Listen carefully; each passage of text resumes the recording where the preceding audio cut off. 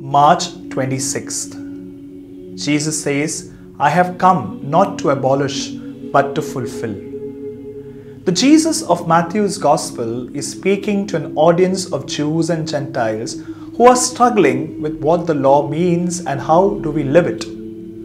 The law is good and is gives us for good reason. It holds us to good and upright behavior.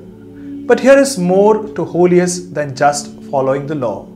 There is something behind it, something greater than just the mere words of it. There is a spirit that surrounds the law. There is more to than to the law. There is grasping and struggling with what it means to discover our weakness and develop new habits that change how we encounter each other and the world.